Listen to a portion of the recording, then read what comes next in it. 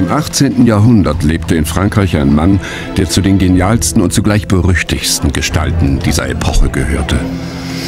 Sein Genie und sein ganzer Ehrgeiz beschränkten sich auf das flüchtige Reich der Gerüche.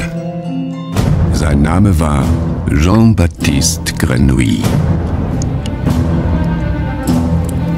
Ah, was soll das denn? Ich komponiere ein Parfum.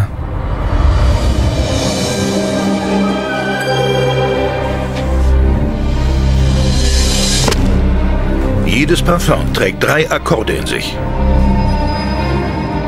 Das heißt, es besteht aus insgesamt zwölf Noten.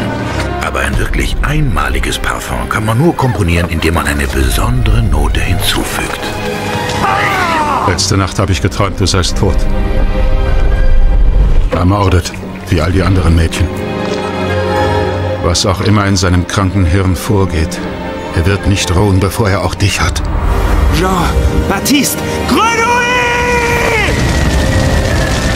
Die heilige römische Kirche verhängt gegen diesen Mörder, diesen Dämon, die Strafe der Exkommunikation. Alle sonst üblichen Gnadenakte sind dem Scharfrichter ausdrücklich untersagt!